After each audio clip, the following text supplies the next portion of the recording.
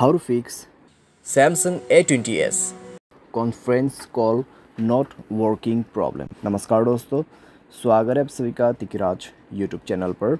तो दोस्तों, आज के इस वीडियो पर मैं आपको बताऊँगा कैसे आप जो है सैमसंग के डिवाइस पे conference call not working problem solve कर सकते हैं। तो दोस्तों, यहाँ पे कॉन्फ्रेंस कॉल के रिलेटेड आपको काफ़ी सारे चीज़ें जानने को मिल जाएगा। क्यों ऐसा प्रॉब्लम क्रिएट होता है? कैसे आपको फिक्स करना है? कॉन्फ्रेंस कॉल कैसे चलते हैं? कैसे काम करते हैं? किस तरीके से आपको सेटिंग्स वगैरह करना है? ठीक है? वीडियो को शुरू से लेकर अंत तक देखिए, आपका प्रॉब्लम ज़रूर फिक्स हो जाएगा। वीडियो शुरू करने से पहले अगर आपने चैनल को सब्सक्राइब नहीं किया है तो सब्सक्राइब करते हुए बेल आइकन को क्लिक करें। अगर आप ऑनलाइन पैसा कमाना चाहते हैं तो वीडियो डिस्क्रिप्शन पर लिंक मिल जाएगा। किसी भी प्रॉब्लम के रिगार्डिंग पर आप हमें ट्विटर पर फॉलो करके मैसेज कर सकते हैं। चलिए वीडियो शुरू करते हैं। तो दोस्तों, यहाँ पे आपको सबसे पहले करना क्या है? अगर कॉन्फ्रेंस कॉल काम नहीं करते हैं तो दोस्तों, अगर आपका कॉन्फ्रेंस कॉल में यहाँ पे प्रॉब्लम आ रहा है तो आप सबसे पहले जाइए अपने मोबाइल के सेटिंग पर स्क्रॉल डाउन करके नीचे में आ जाइए। जनरल मैनेजमेंट पर जाके आपको रिसेट पर क्लिक करना है और रिसेट नेटवर्क सेटिंग पर क्लिक करके रिसेट सेटिंग पर क्लिक करना है और मोबाइल पासवर्ड भर देना है। ठीक है? उसके बाद दोस्तों आपको यहाँ पे बैक करना है।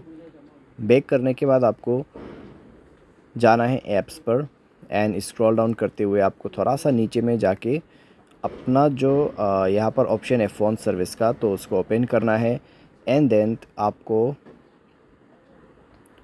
स्टोरेज पर क्लिक करना है, क्लियर डेटा कर देना है। क्लियर डेटा ओके करने के बाद ही आपको बैक करना है और परमिशन पर जाना है।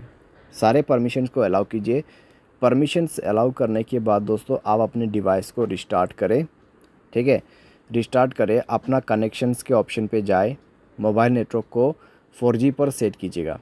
4G पर सेट होना चाहिए। आपका वॉल कॉल्स इनेबल होना चाहिए। ठीक है? वॉल कॉल इनेबल होना चाहिए। नेटवर्क 4G मोड पे होना चाहिए। उसके बाद जाके आप वीडियो कॉल प्लेस कीजिए। प्रॉब्लम फिक्स्ड हो चुका होगा। तो इस तरीके से दोस्तों conference call not working problem fix कर सकती है। बाई एनी चांस अगर आपको इसके रिलेटेड कोई भी प्रॉब्लम आते तो आप जाइए दोस्तों अपने सॉफ्टवेयर अपडेट कर लीजिए। ठीक है? जैसे सॉफ्टवेयर अपडेट करेगा, आपका सारे इश्यूज़ सारे प्रॉब्लम सॉल्व हो जाएगा। तो कॉन्फ्रेंस कॉल कॉन्फ्रेंस कॉल करने के लिए दोस्तों, आपको सबसे पहले तो यहाँ पे एक नंबर को डायल करना होता है। ठीक है? एक नंबर को डायल